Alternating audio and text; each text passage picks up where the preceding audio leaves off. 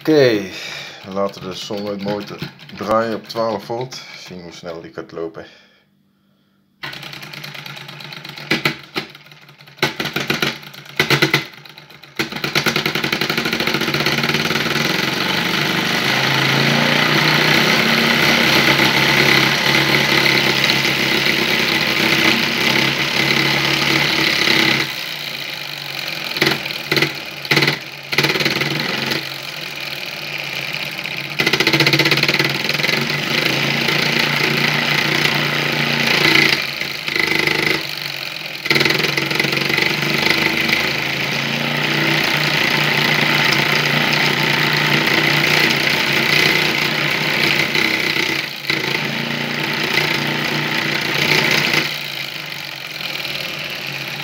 Okay.